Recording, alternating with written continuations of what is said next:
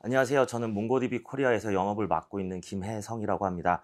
먼저 지금 저희가 이제 부스가 아니라 부득이하게 지금 몽고DB만 베네치안 호텔 스위트룸에서 지금 인터뷰를 진행을 하게 됐는데요.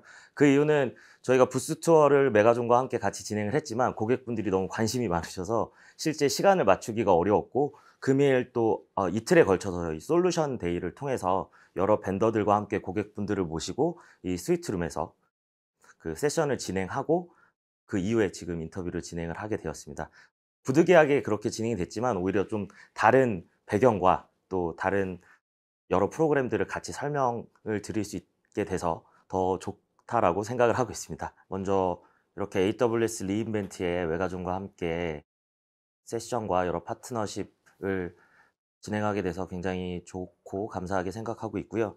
저희 몽고DB는 2007년에 미국에서 설립된 회사로 한국 지사는 2018년도에 설립이 되어 왔습니다.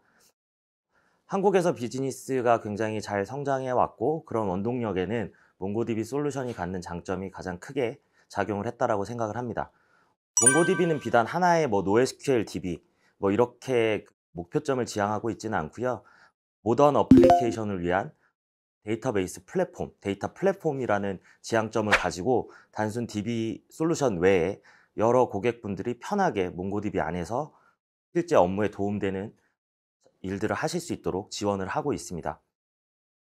그런 측면에서 한국에서 비즈니스가 잘 성장해 왔고 새로운 모멘텀으로 메가존 클라우드와는 공식적인 파트너를 맺고 같이 비즈니스를 진행을 해오고 있습니다.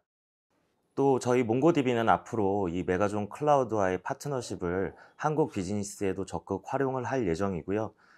이런 것들은 비단 뭐 특정 account나 특정 프로젝트에만 국한되지 않고 여러 다양한 core 프로그램들을 통해서 고객분들한테 인사드리고 더 많은 지원을 계속해 나갈 것입니다.